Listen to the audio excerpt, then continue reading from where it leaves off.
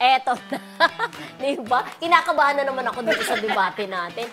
Nabasa natin sa mga comments na mas bagay pa din daw ang Katniel. Subok na raw ito at marami ng blockbuster movies.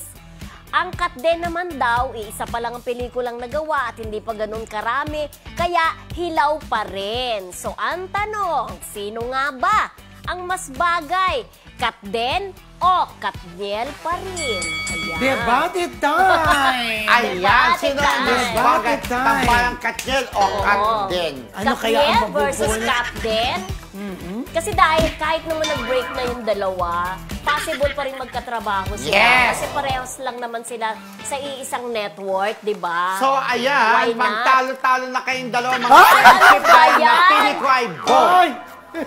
Ako? Ako? Ay! Kat din! Ako, Katniel! Yes? Ikaw Ah, na. ako muna, Oo, okay. Ikaw muna. Alam nyo, sa totoo lang, Yan ang nakontak.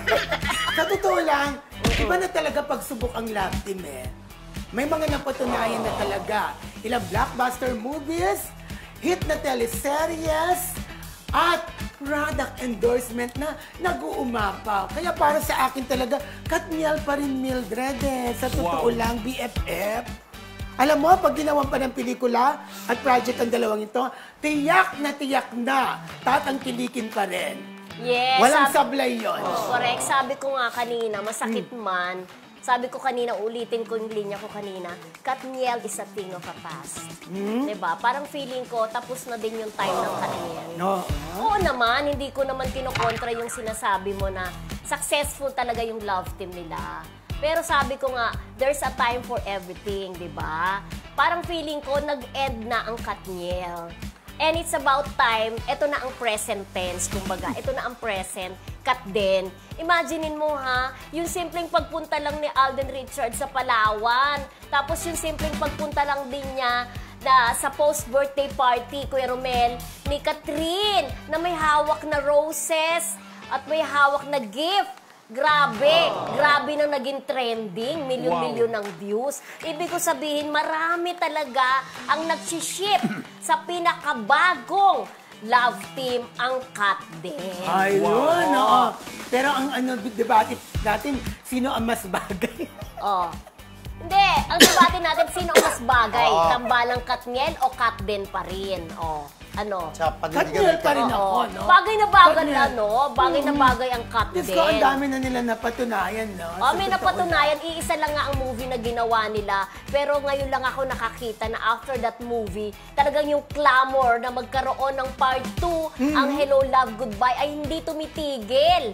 Kaya naman nung mag-break itong si Daniel at saka si Catherine nagkaroon ng pag-asa, kaya naman ano, siniship na kaagad yung Den. Hindi lang sa pelikula ha, pati sa totoong buhay. Gusto nila silang dalawa sana ang magkatuluyan. Ganon katindi ang Den fever. Wow. Ganon? Oo. Hila naman ang opinion. Ni Tapos na ba? Ang bilis na mag-debate. Alam nyo, ganito yan. Para Oh. sa mga kayo may mga Oh, yes, siyempre lagi yan ang sinasabi. Lagi. Parehas naman kayo Oo. may punto. Siyempre kasi bot, hindi ako yung napili mo bot, ang papanig ka sa isa. Parang hindi bot ang nabudot mo. Correct. Once sa mong bot, parehas, di ba? Hindi mo binili. Hindi Bot. Oo, binili, naman. bumili ako ito, binili ko ito, mahal 1.8. Ay, Anyway, para sa mga kayo puntos, ako naniniwala ako kung gagawa ng pelikula pa rin o magsasama sa isang serye ang Katniel, tatangkilikin pa rin yun kahit hiwalay na. totoo ka dyan. In fairness sa kanya, True. sa kanila, Katniel, marami pa rin silang mga tagahanga. Para maniniwala ba tayo ng Gabi Concepcion at Sharon Cuneta, nagkaasawa na, naging iba na ang kanya-kanyang asawa, may mga kanya-kanya ng anak, tinangkilik pa rin, di ba? Nung Yeah. concert. Ang Katniel, pero ngayon talagang Yeso Cristo, talagang panahon daw rin ng Katniel, talagang open na sila, gaya ng sabi ko, nakikita na sila, parang wala na silang tinatago, yakapan ng yakapan, kilig-kiligan, padala ng bouquet of flowers, may kanta-kanta pa si Alden, nakilig-kilig na talaga ang mga fans ng Katniel. Dati nga, ang daming nambabas kay Alden ng mga Katniel, pero ngayon Wow. tanggap na nila si Alden for Katniel. At pagka yan nga naging part 2 na itong Hello Love Goodbye, another blockbuster from Star Cinema.